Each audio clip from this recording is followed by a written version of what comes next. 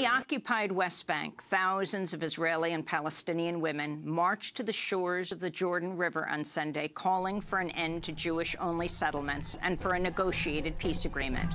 This is Israeli citizen Vivian Silver of the group Women Wage Peace.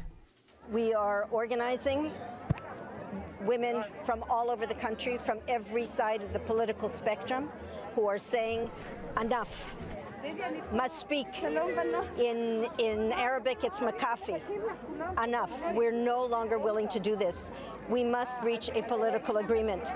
We must change the paradigm that we have been taught for seven decades now, where we've been told that only war will bring peace. We don't believe that anymore. It's been proven that it's, no it's not true. In